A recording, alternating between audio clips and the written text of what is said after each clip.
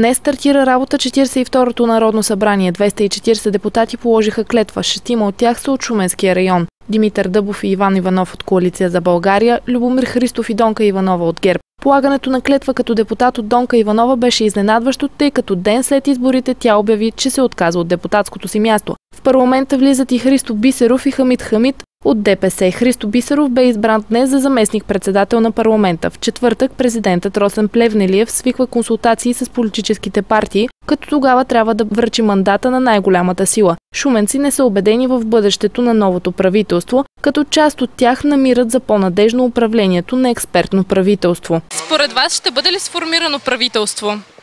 Надявам се, но малко по-трудно ще бъде. А какво смятате за едно експертно правителство? Положително. Трябва да бъде. Так, и 3-4 партии да са, но такова трябва да бъде. Според мен ще има още бая да се работи. А вие имате ли доверие на едно експертно правителство, за каквото се говори и ще реши ли то проблемите на българите? Вече не знам на колко да имам. Не мога да кажа, но ще имаме и доста още да... Така да бъдем. Според вас ще бъде ли сформирано правителство и едно експертно правителство? Дали е решение на проблемите на българите? Може ли да ги реши? Бе, бе, какво стане? Живот е такъв е. Ако се формират, се формират. Като не се формират, какво ти излезе? Имате ли доверие на едно експертно правителство? А, на кого да имаш вече доверие? На никой нямаш доверие. Бъде ли сформирано правителство? Смятам, че не. А вие имате ли вяра на едно експертно правителство? Ами, сякаш по-добре е на едно експертно, отколкото на това събрано от правителство от Ордиса да направо.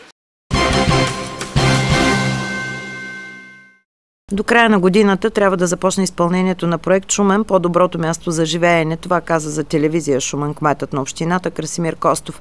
Той допълни, че Общинска администрация спешно ще започне подготовка на тръжните процедури за избор на изпълнител на строителните дейности. Господин Костов, с какво ще допренесе този проект и тези 5 милиона лева, за които подписахте договор вчера за подобряването на шумен, на градската среда, на начина на живот на хората? Аз се радвам, че ние успяхме да спечелим този проект. Той е по направлението Зелена и устойчива градска среда. В конкретния случай нашия проект се нарича Шумен по-добро място за живеене. Добро е това, че този път нашите проекти бяха насочени главно в кварталите на общината. Ще интервенираме проектни решения в квартал Боян Българанов, в Тракийския квартал, в Доброжанския квартал, пространството до читалище Тодор Петков в квартал Дивдядово. Това са дейности свързани с зоните за отдих, междублокови пространства, улична мрежа, тротуарни настилки и всичко това за 5 милиона лева. Интересното на тази схема е това, че след като проведем търговете за избор на изпълнител, ако се появят економии, тогава тези економии няма да ги връщаме в София, ще можем да финансираме други обекти, които са в общия обем, който ние сме проектирали. И така ние ще имаме възможност да започнем конкретни действия, така както обещахме в кварталите на нашия град, след като направихме централната част на града. Срока за изпълнение на проекта за благоустрояване на кварталите в Шумен е 24 месеца.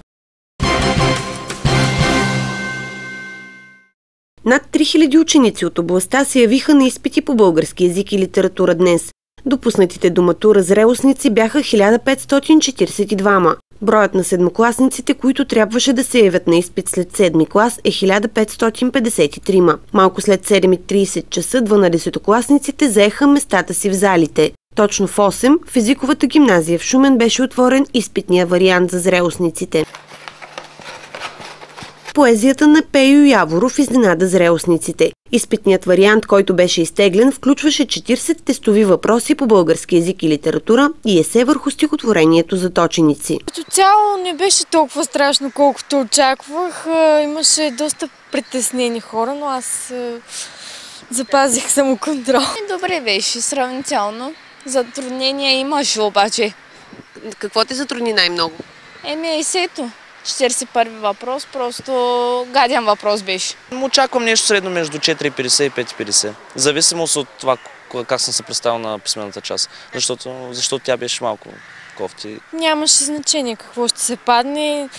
А, по принцип се справям на есеца, така че бях доволна от каквото и да е. Да. Каква оценка очакваш? Ами, надявам се да е повече от 4.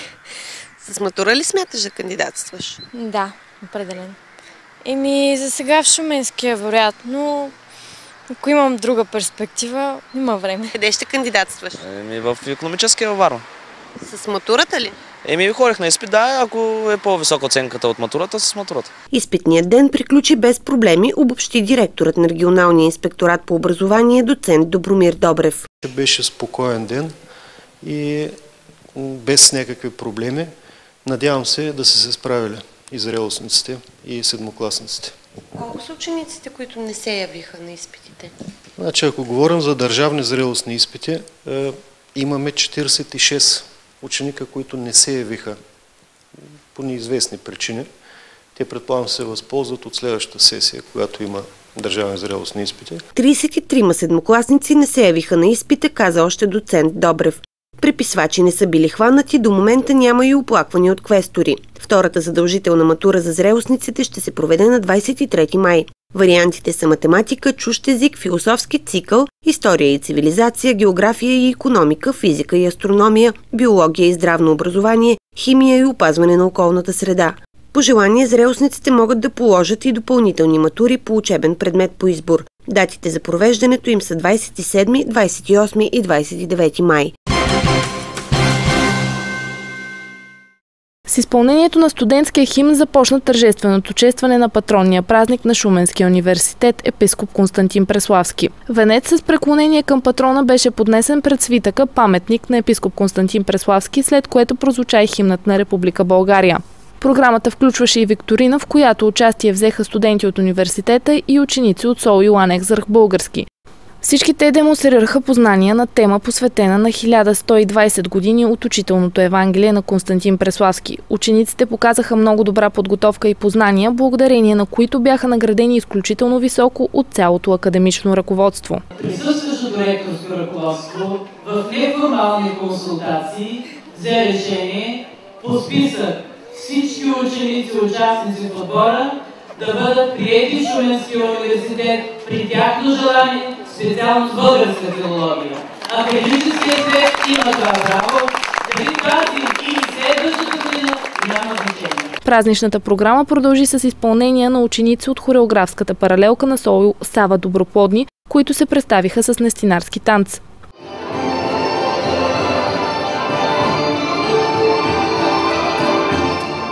Мероприятието продължи и със спортен празник. Студенти от университета бяха подредили кът посветен на японската култура и традиции.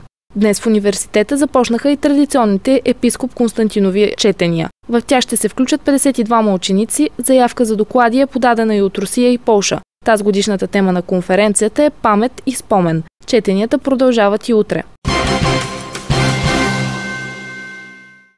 До края на миналата седмица в офиса на НАП Шумен са поступили 13 060 подоходни декларации за 2012 година, а общият брой на подадените такива през изминалата година е бил 14 828 броя. Данните сочат, че все повече граждани се възползват от възможността да подават документите си по електронен път.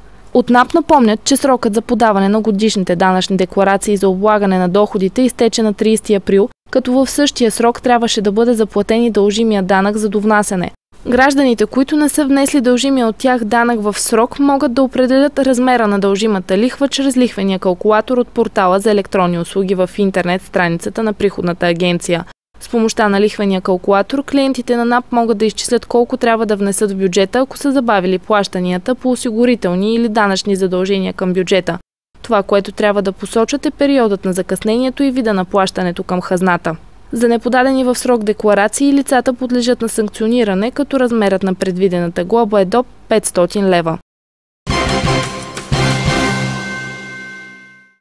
Възобновиха делото за несъстоятелност на шуменската топлофикация. Производството, образувано по искане на Българ Газ, беше прекратено след като Общинския съвет обяви процедура по приватизация на дружеството. Тъй като такава до момента няма осъществена, днес делото беше възобновено. В окръжния съд се явиха представител на кредитора, адвокат на топлофикация, директорът на дружеството инженер Петър Петров, както и представители на борда на директорите. Делото обаче беше отложено за юли, тъй като все още не е изготвена съдебно-економическата експертиза.